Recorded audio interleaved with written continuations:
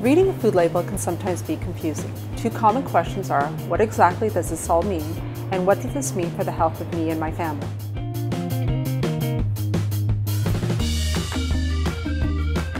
Use the food label to make informed food choices. It can provide you with nutrition information like the nutrition facts table, the ingredient list, and nutrition and or health claims. Not all foods need a nutrition facts table. Some examples are fresh fruits and vegetables, raw unground meat, poultry, fish, and seafood, foods prepared or processed at the store such as bakery items and salads, foods with very few nutrients such as coffee, tea, herbs and spices, and alcoholic beverages.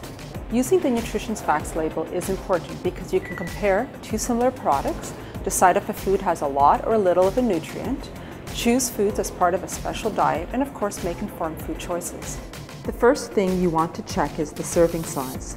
The information or amounts listed on the nutrition facts tables are based on a manufacturer specified amount of food within a suggested serving size range. You can also compare products of the same serving size or weight or foods that you would typically eat at one meal. For example, you can compare the nutrients of one bagel to the nutrients of two slices of bread. Another important part of reading a food label is the percent daily value or percent DV.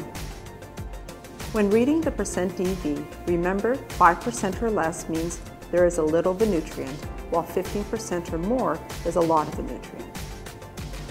For most patients with heart disease, you want to have more fiber, less saturated fat, less trans fats, and less sodium. When you're comparing two types of the same product, make sure that you're comparing the same serving size. Then take a look at the percent daily value to make sure that you are having a healthier food choice for your needs. For example, let's take a look at these two cereals. If you're looking to have more fiber, one cup of cereal A has 15% fiber. Cereal B only has 4% of fiber per cup. Choosing cereal A would give you a higher fiber option. The ingredient list shows all the ingredients for a food by weight, from the most to the least. For good heart health, avoid foods that contain hydrogenated oils in the ingredient list. Hydrogenated oils or partially hydrogenated oils in an ingredient list means that they have trans fats. These types of fats raise your LDL or lousy cholesterol and they lower your HDL or healthy cholesterol. Remember these label reading tips next time you shop to make heart healthy choices.